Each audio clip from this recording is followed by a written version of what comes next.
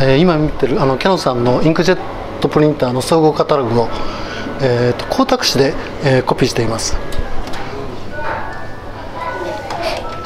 まず用紙をセットします。これあのチュースの裏側にしなくちゃいけないんですね。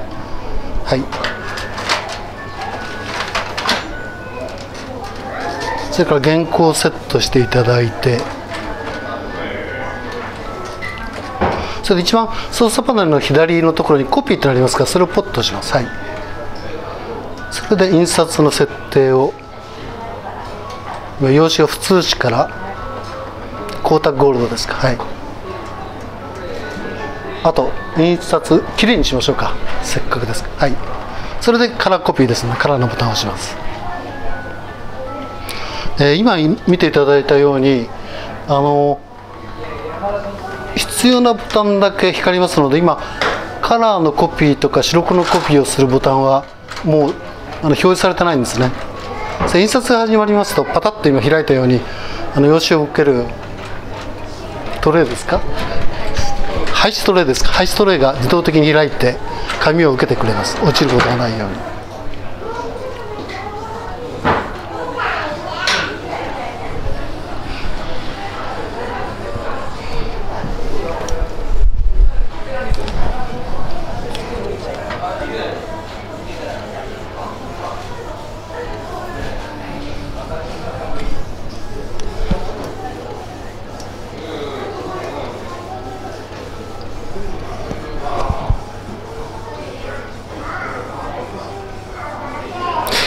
今準備体操してるんですかね。ちょっとなんかえーとまあ何かやってるはずなんですけどもまだ印刷はしてないみたいなんですけどもあ印刷してましたね。あ失礼しました。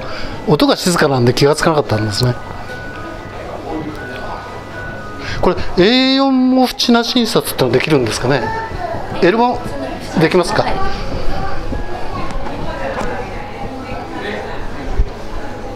ああ綺麗ですね。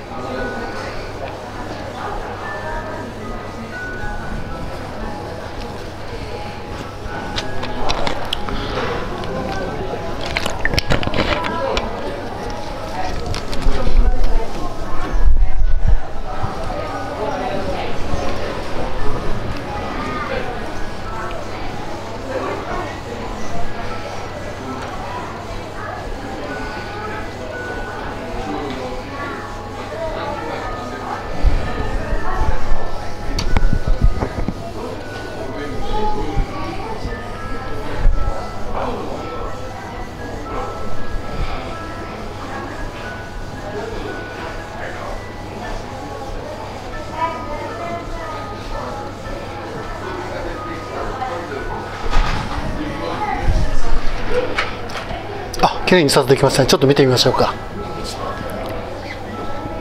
あすごく綺麗ですね。はい。